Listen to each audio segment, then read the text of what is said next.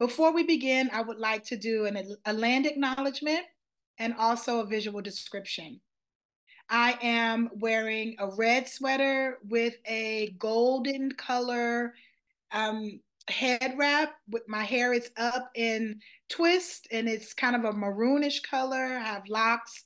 I am a chocolate brown black woman with a gold hoop in her nose and bluish and purplish eyeshadow and fingernails and lipstick. I'm wearing big gold leaf earrings and um, I'm sitting in front of um, some plants and artwork and um, and gold sunflower looking um, piece on the walls and lots of plants. I am on the, the holy lands of the Lenape people um, in Manhattan. I live here in a community called Harlem, and I am really grateful to the original stewards of this land for making home for me. Um, I, I'm very appreciative. So, folks, in a moment, we will be joined by Ashni. Ashni, daughter of Cynthia and Alan, is a farmer at Mumbet's Freedom Farm, facilitator, educator, and somatic experiencing practitioner born and raised in Brooklyn, New York, with rich roots in the island of St. Vincent and the Grenadines.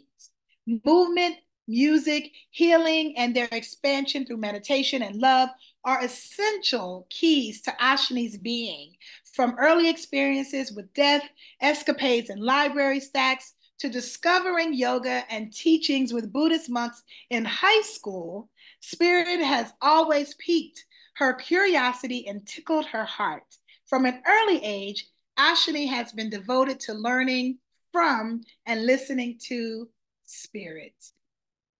Mumbet's Freedom Farm, where Ashni is the, the steward, is a Black and Brown led cooperative farm and community sanctuary situated in the ancestral homelands of the Mohican Nation. Sheffield, Massachusetts, named after the revolutionary Elizabeth Mumbet Freeman, Freeman, an enslaved African nurse, midwife, and herbalist who successfully sued for her freedom. The farm serves as a space for connection, creativity, education, and wellness. Dedicated to sustainability and sanctuary, Mumbet's Freedom Farm seeks to provide a home for queer, Black, and Indigenous people of color and all Earth beings. We employ, Mumbet's Freedom Farm employs Afro-Indigenous, regenerative, and biodynamic agricultural strategies, drawing inspiration from personal and cultural gardening experiences. They focus on nurturing the soil through biodynamic preparations and diverse amendments. So one, so the one one and a half acre um, farm will continue to flourish in the future. Their commitment to sustainability extends beyond resource preservation. They understand the land to be a living relative that sustains the beyond the material, therefore healing their relationship with the earth as the center of their work. Welcome, Ashni. I'm Sandra Ashni, Kimberly Tiffany Masai Itzel, daughter of Cynthia and Alan. I have, so I'm a brown skin, caramel colored woman with mermaid like hair. Um, I'm sitting in um, Mohican, Stockbridge, Munsee territory in Western Massachusetts in a room on a wooden chair.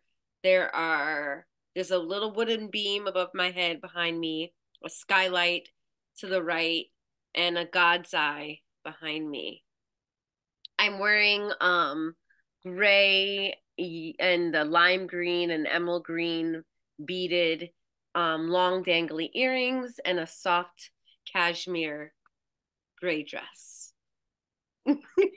Thank you for being here, Ashni. I, we were just together at Mumbet's Freedom Farm a few days ago, and I want to just give you an opportunity to talk a little bit about your work and then ask me any questions um, in this moment where I've been talking a lot. And so this is the time to, you know, get me, get me, give me some hard questions, and let's let's talk about this from the perspective of doing some land work, doing water work, and the work that you do, and the artwork that I and that I'm doing. Yes. Thank you for being here.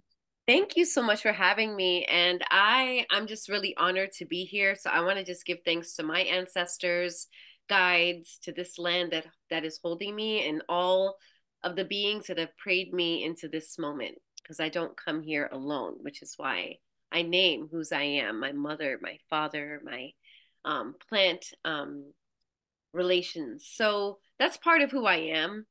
I am a conglomerate of earth, air, fire, and water that has been born on this earth and this planet at this time to a woman um, of Caribbean descent. And I feel like my upbringing and being a, a child of an of a of a what we what we call an immigrant in our current language, um, but a person who um, grew up in the islands, who grew up on the land, but came to this uh, United States of America, what they call that now, um, for opportunity. And so, growing up, one of the first books that I remember reading was a book called Back to Eden. I'm not sure if anybody who's listening has heard of that book or know that book, but it's kind of like one of the oldest books that talk about like alternatives to healing. My mother was a nurse. She always wanted me to be a nurse. Um, but I didn't want that. I was always kind of drawn to alternatives, alternative ways of healing, alternative ways of living, alternative ways of loving, alternative ways of being. So, all of that and so many things along the way have led me to this moment where I am the current steward of Mum Bet's Freedom Farm. Mum Bet's Freedom Farm is a sanctuary um, and a space for healing, a space, a living laboratory is what I'm calling it now. Um, because I feel like um, growing up as a child of an immigrant, there were a lot of things that were expected of me, and there were a lot of things that were put on me in terms of concepts of success, mm-hmm. of of what was worthy of doing. Um, and as I continue to explore this land and explore what it what freedom means, what it means to be liberated, um, I'm realizing that liberation is not about okay, I'm liberated from something else, but I'm mm-hmm. liberated to be in relationship. And so the work at Mum Bet's Freedom Farm is really rooted in what are the things that we can liberate ourselves from so that we can be in right relationship and what are the ways that we can be free to explore the relationships and the ways of living that actually align with our heart, our soul, and what our bodies need, and how that also changes over time. So, one thing I didn't say in my visual description, I'm in my, you know, I'm kind of, people don't usually do that, but I'm in my, you know, 40th decade of being on this planet. I have no shame in that. I'm really actually um, grateful um, something that you were speaking to earlier in this conversation, I can't remember exactly, but there's something about the miracle of of my being, the miracle that I made it, that we have made it, because there was a lot of things that were done to kind of um, ensure that I wouldn't make it to this place, that I wouldn't survive. Um, and so I feel like Mum Bet's Freedom Farm is a sanctuary to like to honor um the ways in which we have come through and to give us spaces to celebrate that, to honor that, to nurture that, and to create platforms, structures and systems so that more of us can um, really live into the miraculous nature of our lives and the life that we're living and we've been blessed to live. Um, and we do that by uh, honoring that um, we are the summation of a lot of things. You spoke about a lot of things, but I'll speak really briefly about the recognition of the plant, animal, and elemental life that make us up. I think that there is something that is so important and vital to being alive in this time. Um, as we see so many things shifting around us and the world, like you were talking about the world ending, this idea of the world ending, but what world are we talking about? Right. I feel in my heart and soul that there's part of my purpose that is part of being a part of this new world that is already existing. It's not like, oh, people talk about this new world. This world is here. It's for us to claim it. But in order for us to claim certain things, some things have to end, which is a certain sort of supremacy that exists in the minds, hearts, and bodies of so many. And that includes um, us as humans and the idea that we are above things, that we are somehow above. Um, I see the land um, and the work that I'm doing as sort of getting us back on, getting us back in a circle, getting us back into understanding what our part is and what our role is here on this earth in in birthing and and creating a world um, that is um, based on values of reciprocity that understands our symbiotic nature. You know you spoke about before about black women and people doing this harm and not understanding that they're also doing that harm to themselves you know how we do harm to earth and nature how you know there are you know in the current wars that are happening in the world right now um are we talking about the the amount of um matter that is being bombarded to the earth and where that's going? The smoke where is that going? That's not you know that's in our atmosphere right? The places that are being mined right now what's happening? What are we concerned? Are we thinking about what's happening to the stone people? To the lands and the veins that are being interrupted their flow being interrupted underground by mining for things like cobalt? So Mumbet's Freedom Farm, I can, you know, in my intro, you you can hear a little bit about what our missions and our values are, but really it is about this exploration of our elemental nature and how we can honor that there is something ending and the world you know i and i hopefully and i'm praying for that world um of capitalist ideology of um a, a sort of supremacy that we have that's starting to crumble and us starting to um lean into our inter- interdependence. And so you know when i'm thinking about the work that you're doing and i had one one one one question that will lead into the more juicy questions about what is being watered and what is being made whole again. And I heard you already talking a little bit about the climate reparations and environmental justice. And I'm wondering if that is, you know, also a part of what you are watering with this work that you're doing. Yeah, what is being watered? Um, I, I, I'm going to speak on behalf of what I'm seeing in, as I've been sitting with people. Literally, communities are being watered. And what I mean by that in particular is there is um, multiple communities that I'm a part of where folks feel like they have not been allowed to be a part of this movement for environmental justice and that they've been relegated to the the to the the um the corners mm-hmm. because of who they are because of who they love, because of how they, you know, where they come from, where they live. And what I feel like is like more people are seeing themselves as a part of the the the work. They are being watered and they are watering. Mm. Um, I feel like that I am in spaces where this this idea of uh, reparations is taking very taking a lot of different um, configurations right? Like the idea of what is reparations the the conversation about that i find is really growing starting with the acknowledgement of of of what was what the harm what needs to be repaired. Mm-hmm. and then there being a collective conversation about what does repair look like?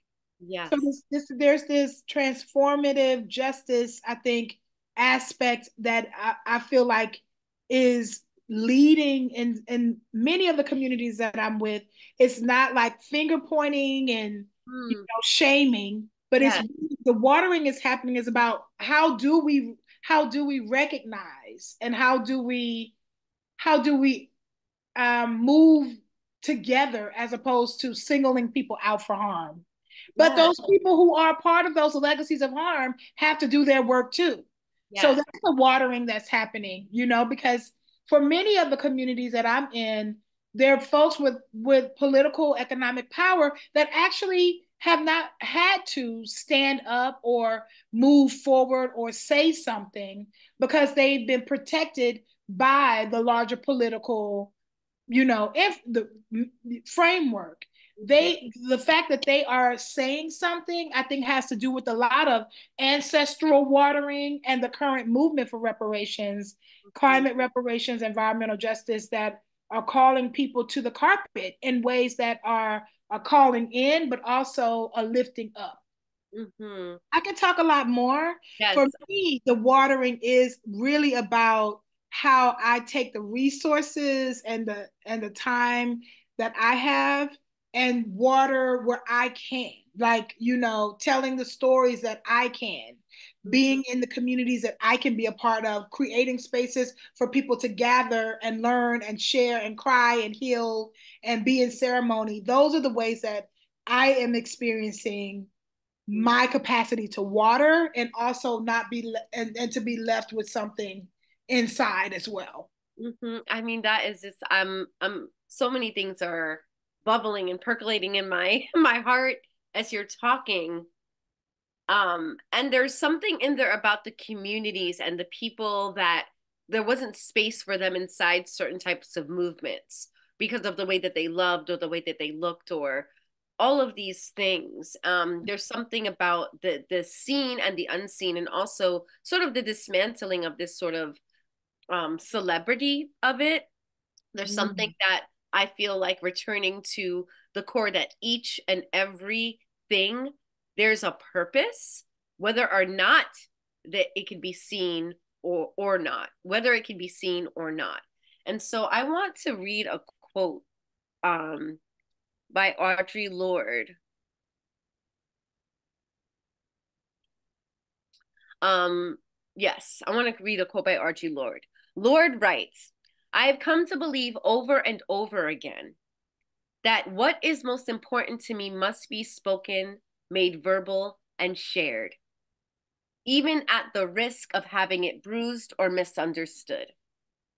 That the speaking profits me beyond any other effect. I am standing here as a Black lesbian poet, and the meaning of all that waits upon the fact that I am still alive and might not have been.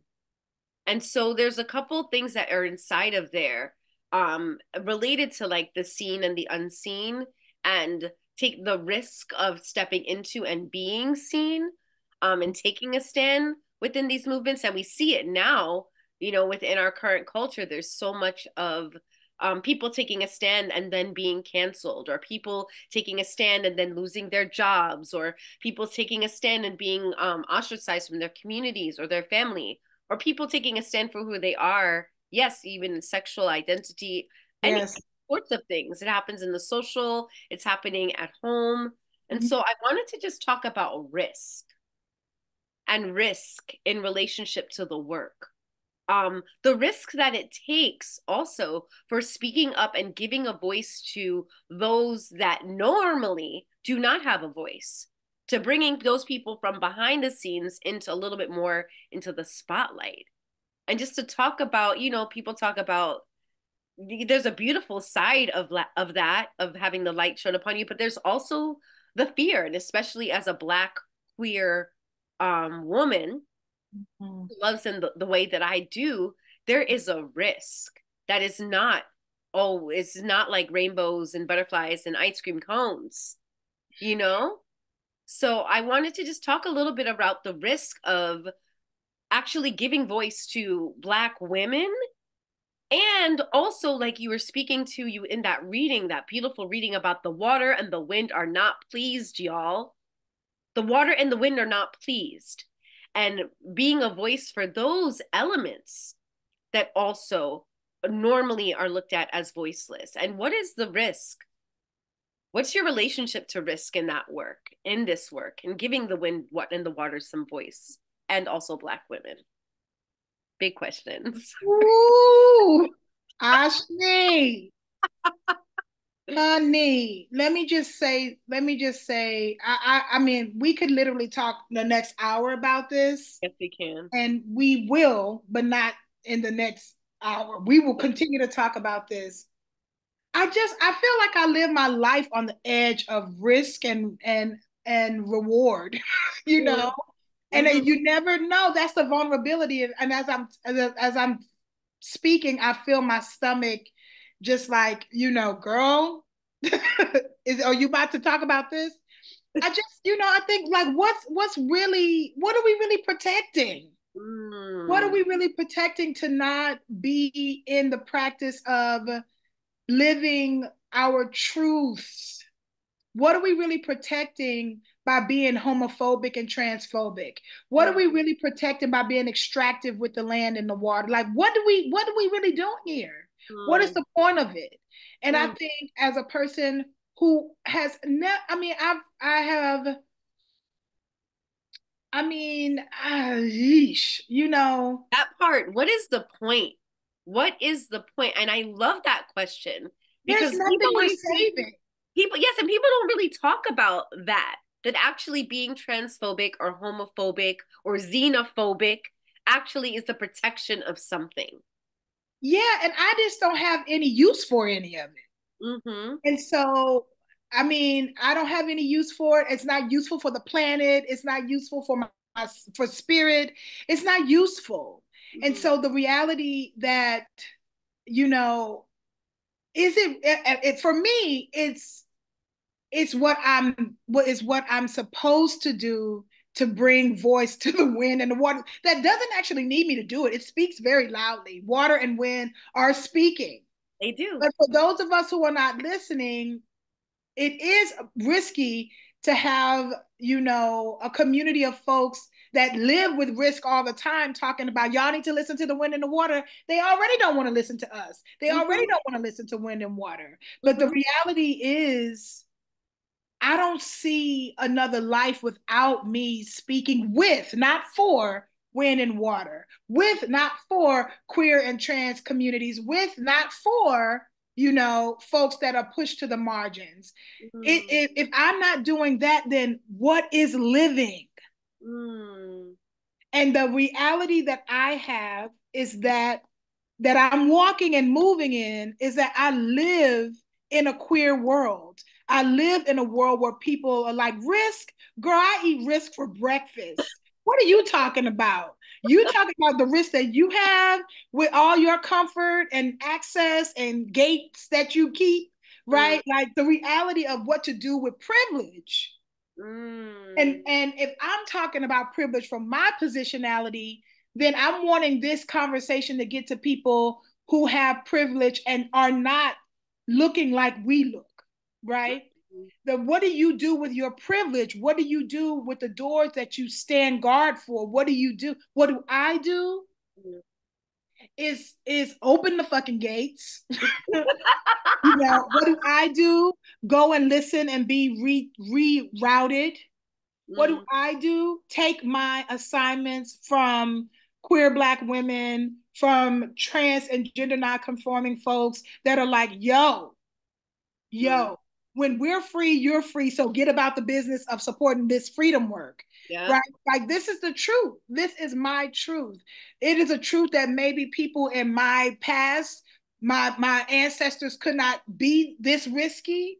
But for now, it's common damn sense. Yeah. You know, that if we're talking about living in a liberated world, we cannot be talking about that at the same time, taking every resource from the land.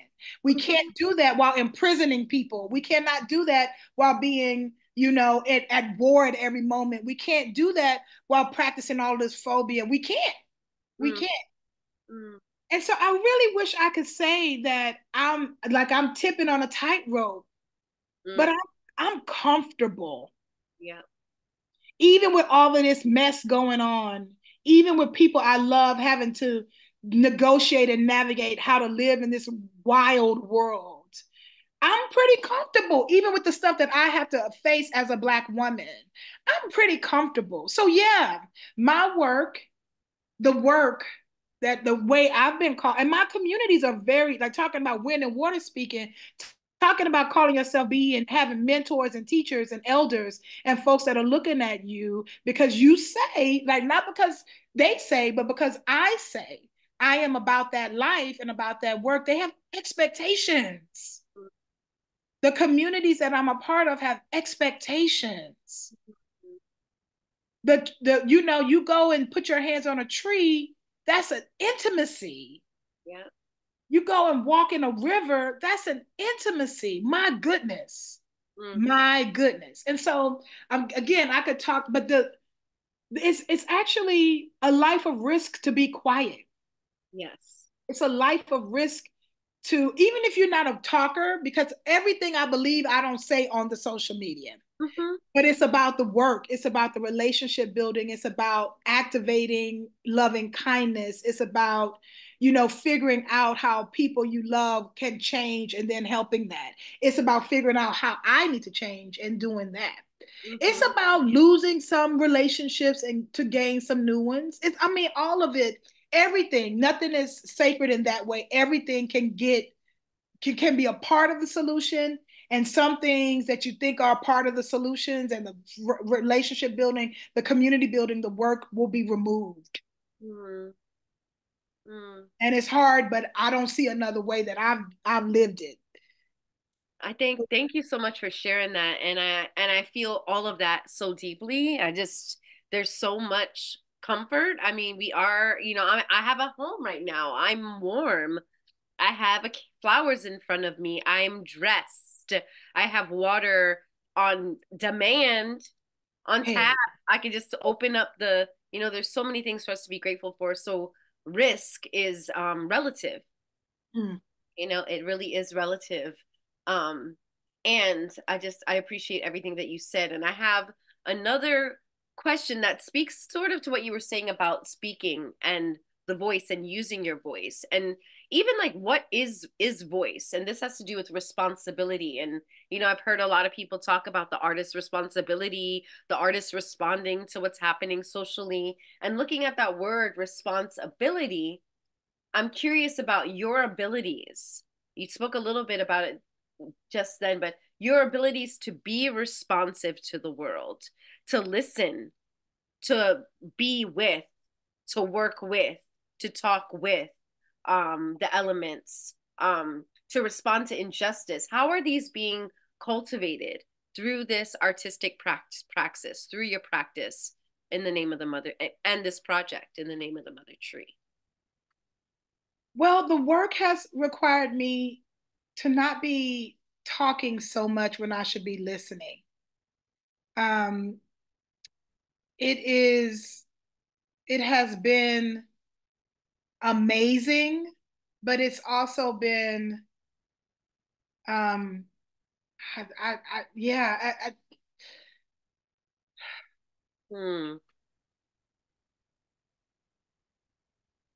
say say it say the question again oh. what is my responsibility yeah how are your abilities to respond being cultivated how quiet, silence, mm-hmm. meditation, being in nature, asking questions, and actually readying my body for responses.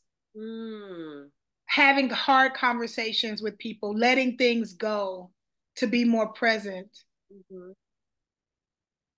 And I would say, you know, going back to our last question, that for some people, all of the things that you just shared could be considered risky. Could be considered risky you know letting go of relationships taking the time to have meditation to to listen. Um and and and actually going back to what you said also it is more risky perhaps for those people who are invested in the systems that keep them comfortable you know? Um and maybe not so much for for folks that look like us and I do know that for sometimes for me as a black woman, because I feel this level of responsibility to the community, to all of my relatives, um, that sometimes, you know, my practice, even though I am very diligent about it and I make space for it, sometimes it feels like, oh my goodness, if I do that thing, I'm taking time and energy away from something oh, else that I could yeah. be doing. You know what I'm saying? So um yeah, just honoring the complexity of what we're talking about in risk and response. Right. There's so many things that I've learned now, you know, um, I, I could continue. I could continue a list, but the reality is, you know, you can't you can't be in a ritual that you haven't been initiated into. Mm. You like the the work at home that no one sees, the work in the woods, mm. the work traveling, the work of sitting around the table, the sojourning internally and externally is where the actual work is happening, is where the rerouting is happening, is where the reserves are being recouped and filled up, you know, um, is where I'm being also, I'm learning lessons left and right. I am being taught. Mm. And I love, I, I love to be in a work. I love to be in communities where folks are like, "Good job, Ebony," but also these five things you know? yes. But also uh, because you're here, because you're doing this work, you say these five things, these things to listen to, those signs you missed, those mm-hmm. people you should talk to. What about that? And mm-hmm. are you paying people equitably? And are you listening to folks? And where are the elders? And where are the spiritualists? And like, if you're gonna do it, do it, or if not, just do something else. Mm, so it's all of that. It's rigor. Mm and that that's the part of it like the rigor can drive people away and can bring people close mm, that's that, risky that part mm-hmm. yeah part. yeah wow i want to talk to you for another hour but i know our time is up our time is is is for now. for now.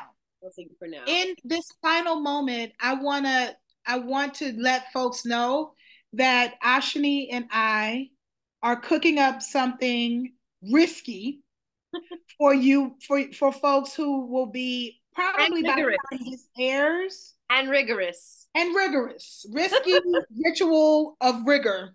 Yes. Um, the folks that will be seeing this will we will already be in the process of bringing people you know of inviting people to the sacred lands of Mumbet's Freedom Farm but do you want to say one word before you go about what we are what we are planning and just a little bit about what we're planning and then we will wrap this up. We're planning an immersion mm-hmm. On the land and exploring what it means to be in relationship with ourselves and our bodies in an ever-changing world. In a world that is supposedly falling apart. Um, so we're going to be engaging in a process together for a week on the land with the land, exploring and listening, mm-hmm. um, and utilizing our bodies, our minds, our hearts to um, investigate, explore, um, and be in conversationship, conversationship, conversationship um, with the land and with each other. Mm-hmm. Thank you, Ashni. I appreciate you in the all of the social media around this um, this conversation series. We'll be sharing information about Mumbet's Freedom Farm, how people can stay in touch, how people can support the work of Mumbet's Freedom Farm, and all of the other folks that we are work we are working with and collaborating with. Ashni, have a beautiful day. Thank you for your questions, and more soon. More soon. Peace. Peace.